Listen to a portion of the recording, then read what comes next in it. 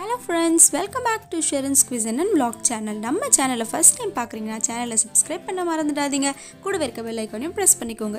இன்றைக்கி இன்ட்ரெஸ்டிங்கான எக் சுக்கா ரெசிபி தான் பார்க்க போகிறோம் வாங்க இதை எப்படி பண்ணலாம்? இதுக்கான இன்க்ரீடியன்ட் என்னன்றதை பார்க்கலாம்.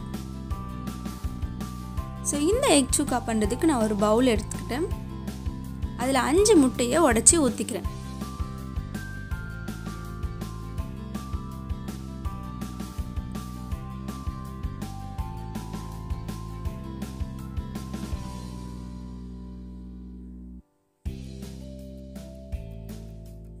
இப்போ இதை நல்லா மிக்ஸ் பண்ணிக்கலாம்.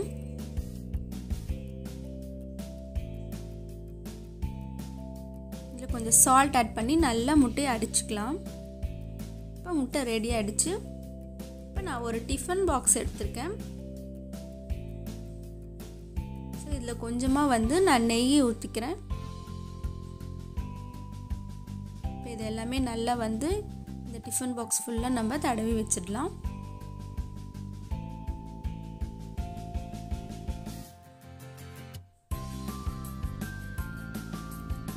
இந்த முட்டையை வந்து நான் அடித்து வச்சுருக்க இந்த முட்டையை இந்த டிஃபன் பாக்ஸில் வந்து நம்ம ஊற்றி வச்சுக்கலாம் இதை வந்து நம்ம ஸ்டீம் பண்ண போகிறோம் ஸோ அதனால் இந்த மாதிரி டிஃபன் பாக்ஸும் எடுத்துக்கலாம். இல்லைன்னா உங்களுக்கு ஸ்டீம் பண்ணுறதுக்கு எந்த மாதிரி திங்ஸ் இருக்கோ அந்த மாதிரி நீங்கள் வச்சு எடுத்துக்கலாம்.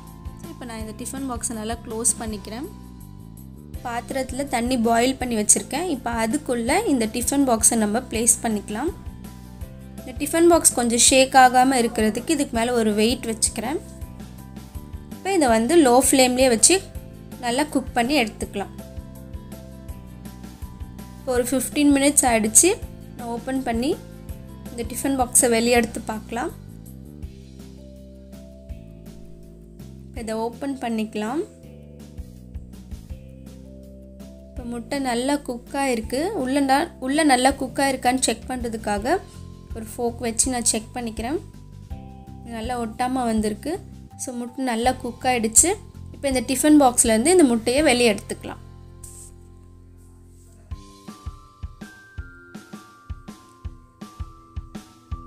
இப்போ முட்டை நல்லா பர்ஃபெக்டாக வந்துடுச்சு இப்போ இதை வந்து குட்டி குட்டி க்யூப்ஸ் மாதிரி நம்ம கட் பண்ணி எடுத்துக்கலாம்.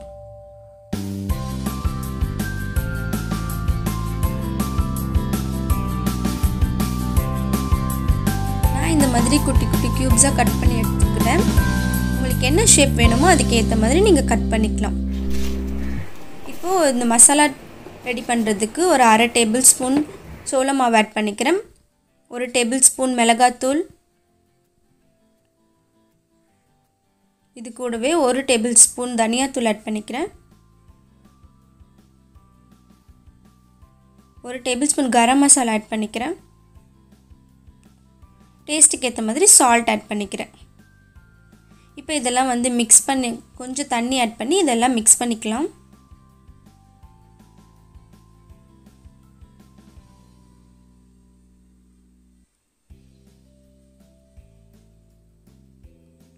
இப்போ நல்லா மிக்ஸ் பண்ணியாச்சு. இப்போ நம்ம கட் பண்ணி வச்சுருக்க எக் க்யூப்ஸே இதுக்குள்ளே ஆட் பண்ணிக்கலாம்.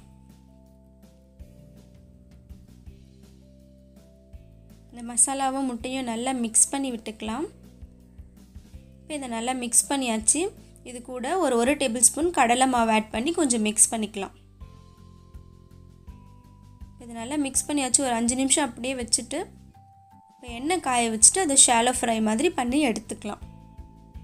நீங்கள் டீப் ஃப்ரை பண்ணாலும் பண்ணி எடுத்துக்கலாம்.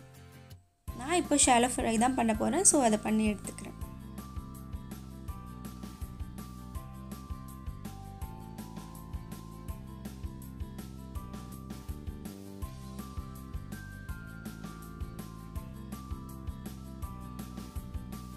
ஒரு ரெண்டுலேருந்து ஒரு மூணு நிமிஷம் வரைக்கும் விட்டுட்டு நீங்கள் இதை எடுத்துக்கலாம். நான் ஒரு டிஷ்யூ பேப்பர் வந்து ஒரு பிளேட்டில் போட்டு வச்சுருக்கேன். இப்போ நான் ரிமூவ் பண்ணி எடுத்துட்டேன். முட்டை நல்லா சாஃப்டாக குக்காகி வந்திருக்கு.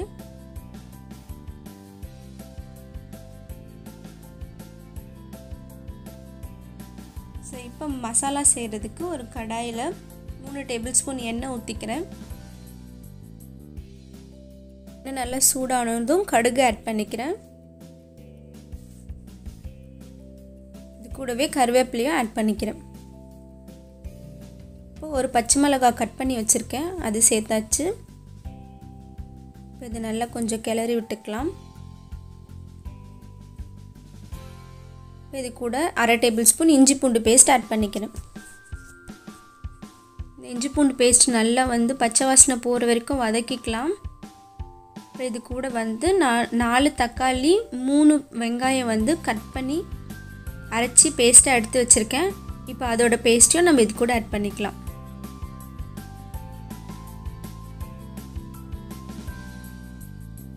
ஸோ கொஞ்சமாக நல்லா இதை மிக்ஸ் பண்ணி ஒரு டூ மினிட்ஸ் விட்டுக்கலாம். ஒரு டூ மினிட்ஸ் அடித்து கொதி வந்துருச்சு. இப்போ இது கூட ரெண்டு டேபிள் ஸ்பூன் மிளகாத்தூள் ஆட் பண்ணிக்கிறேன். கூடவே ஒரு டேபிள் ஸ்பூன் தனியாத்தூள் ஒரு tablespoon garam masala add பண்ணிக்கிறேன். கூடவே தேவைக்காக சால்ட் ஆட் பண்ணிக்கிறேன். இதை நல்லா மிக்ஸ் பண்ணி விட்டுக்கலாம். ஸோ இந்த மசாலாவுடைய பச்சை வாசனைலாம் போயிடுச்சு. இப்போ நம்ம வறுத்து வச்சுருக்க இந்த முட்டையை இது கூட ஆட் பண்ணிக்கலாம்.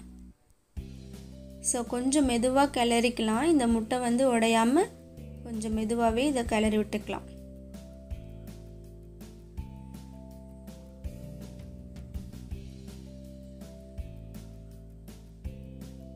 இது கூட வந்து நான் ஃப்ரெஷ் க்ரீம் ஆட் பண்ணிக்கிறேன்.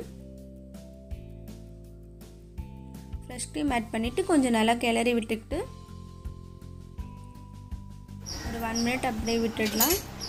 இது கூட வந்து நான் கட் பண்ணி வச்சுருக்க கொத்தமல்லி தலையை ஆட் பண்ணிக்கிறேன். இப்போ நம்மளுடைய டிஷ் வந்து ரெடி ஆகிடுச்சு ஒரு பாத்திரத்துக்கு மாற்றி சர்வ் பண்ணலாம்.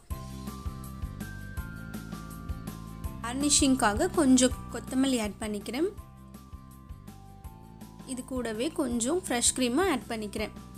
ஸோ ரொம்பவே ஈஸியான டிஃப்ரெண்ட்டான டேஸ்டியான எக் சுக்கா மசாலா ரெடி ஆகிடுச்சு இதை நீங்கள் சப்பாத்தி ஒயிட் ரைஸ் தோசை இது கூடலாம் நீங்கள் சைட் டிஷ்ஷாக வச்சு சாப்பிட்லாம். ஸோ இதை நீங்கள் ட்ரை பண்ணி பார்த்துட்டு இந்த ரெசிபி எப்படி வந்ததுன்றத உங்கள் எக்ஸ்பீரியன்ஸை எங்களோட கமெண்ட்டில் ஷேர் பண்ணிக்கோங்க. ஸோ இந்த வீடியோ உங்களுக்கு பிடிச்சிருந்தா லைக் பண்ணுங்கள் ஷேர் பண்ணுங்கள் மறக்காமல் ஷெரன்ஸ் குவிசன் அண்ட் பிளாக் சேனலை சப்ஸ்கிரைப் பண்ணுங்கள் so see you next video till then take care